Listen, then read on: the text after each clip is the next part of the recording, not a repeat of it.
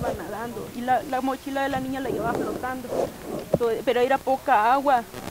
Con la esperanza puesta primero en Dios y posteriormente en la habilidad de lluvia para nadar, confían familiares en que se haya podido poner a salvo y esté con vida. Esperanza. Es la esperanza que tenemos y luego llevó una mochila y la mochila le ayudaba a flotar. Pero ya encontramos la mochila. ¿Dónde la encontraron?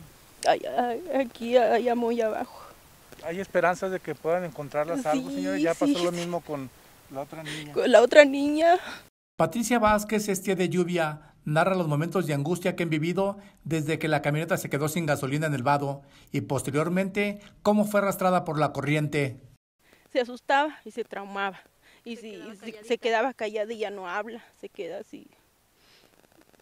Y por eso tenemos una esperanza de que, de que, esté, bien. porque ya peinamos todo, miles, caminamos de aquí hacia abajo y otra vez anoche otra vez anduvimos buscando, nos fuimos a las 3 de la mañana otra vez buscando con Con imágenes de Sebastián López para RCG informó Eduardo Hernández.